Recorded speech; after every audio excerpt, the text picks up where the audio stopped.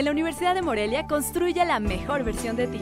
Estudia tu carrera en tres años en las áreas de la salud, humanidades, económico-administrativas, videojuegos y arte digital. udemorelia.edu.mx Teléfono 317-7771.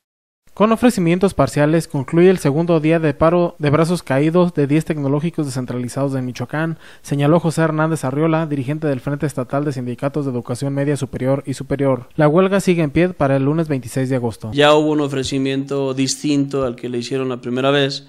Bueno, la primera vez fue hasta tomado como una burla porque bueno, tampoco somos gente que está pidiendo limosna. La autoridad educativa ofreció el plantel Zamora 250 mil pesos y el de Huetamo 50 mil como un apoyo extraordinario. Este último recibió una propuesta que incluye el apoyo de cláusulas contractuales, lo que se consideró un avance pero insuficiente.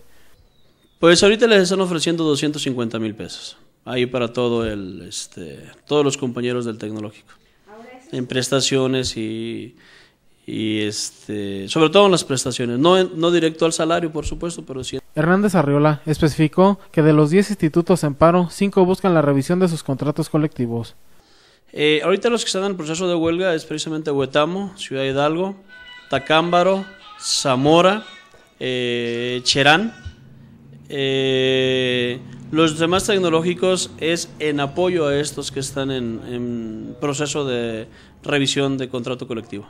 10 de 11 tecnológicos tienen listo el estallamiento de huelga para el 26 de agosto próximo, mientras que la FESEMS continuará en acciones de respaldo. Quizá ya con la toma de instalaciones y pues finalmente llegará alguna marcha.